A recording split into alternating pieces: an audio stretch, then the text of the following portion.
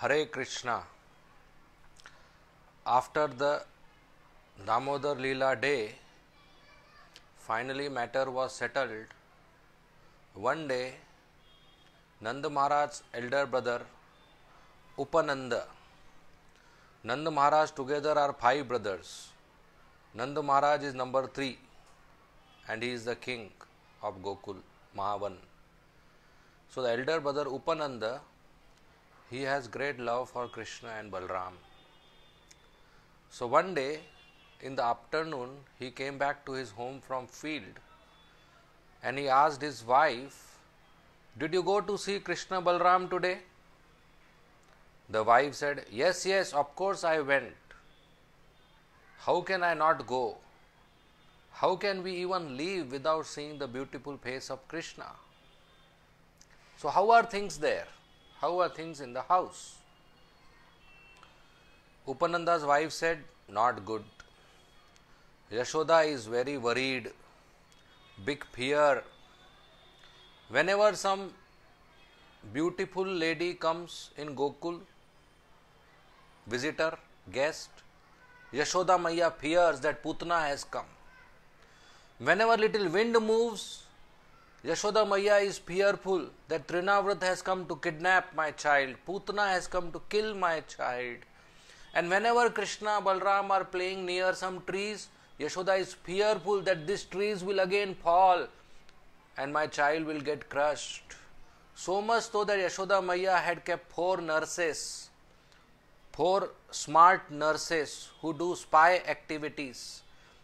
Wherever Krishna Balram go to play outside the house, these four nurses also go behind, hiding, in hiding, to see if everything is okay or not. And if they sense some danger, they are supposed to immediately inform Yashoda Maya. But the point is, Krishna Balram don't like these nurses seeing them doing naughty activities. So Krishna Balram somehow hide themselves in such a way that these nurses also cannot figure out where is Krishna Balram. So they come back to Yashoda say, we don't know where did these boys go. And Yashoda becomes more worried, more in anxiety that where did these boys go. So Yashoda has a tough time. She is having a pathetic situation.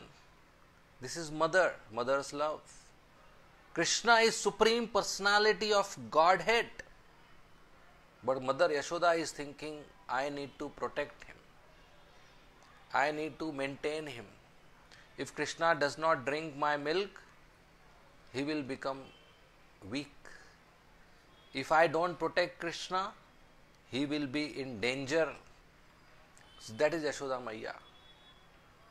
One day, Rohini told Yashoda Maya that lunch is ready.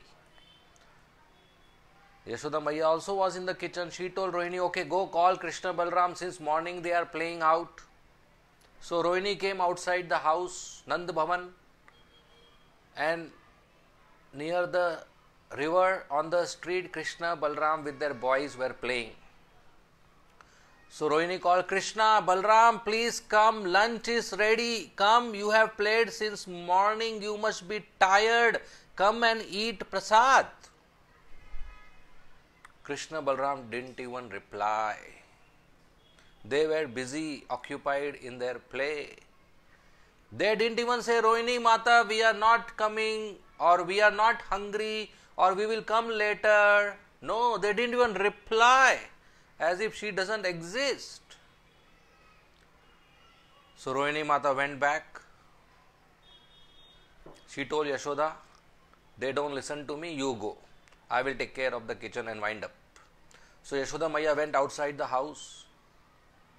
She called Krishna, Krishna. As soon as she spoke this name, Krishna, Krishna, breast milk started overflowing and her sari became wet.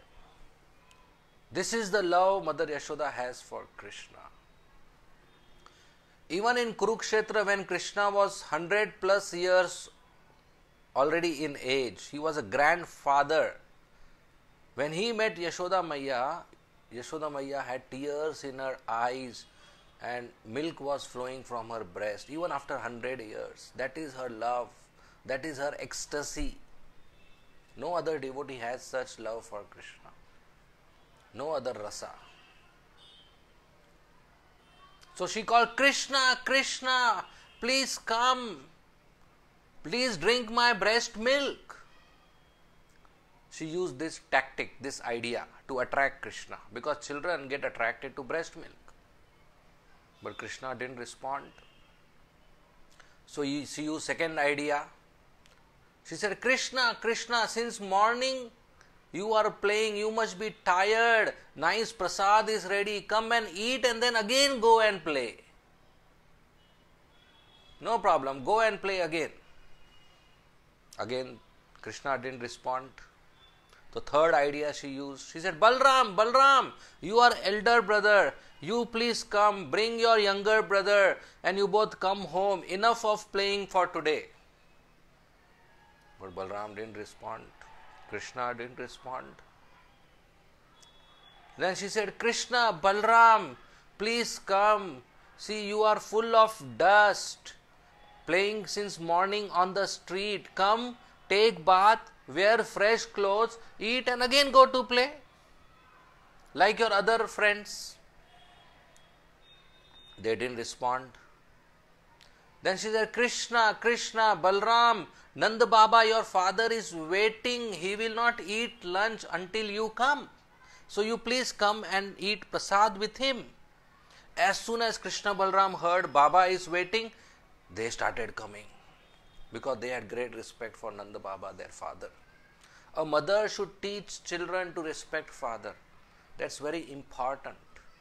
So as children grow up, if they require correction, the father can correct easily if children don't respect father, then father cannot correct.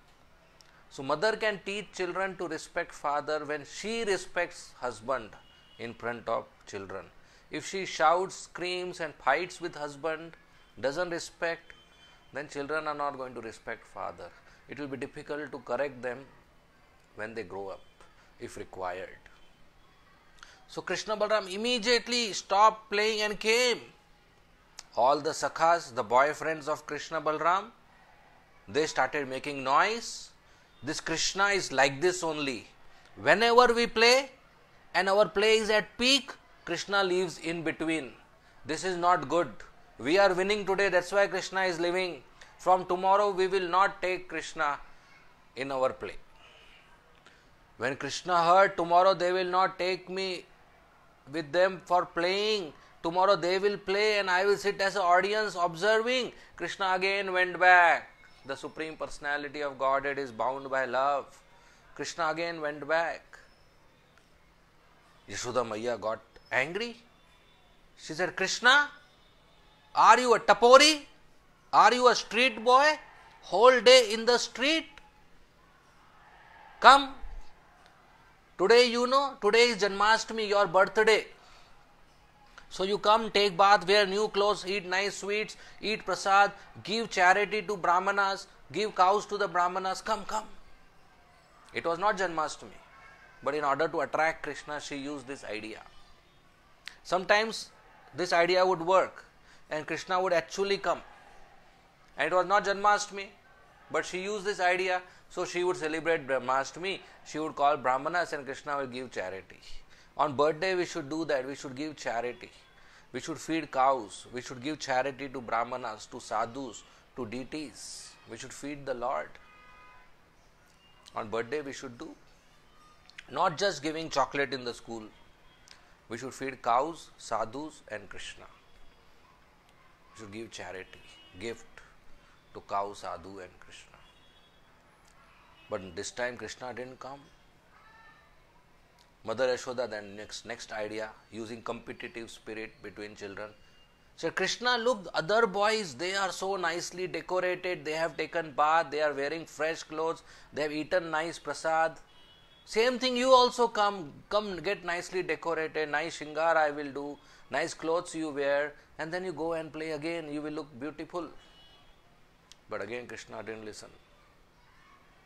Then one idea worked. Which idea worked?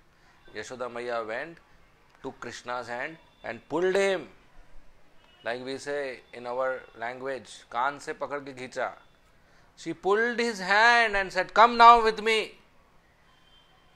That is Krishna Balram. So naughty, so much engaged in playing. So she pulled.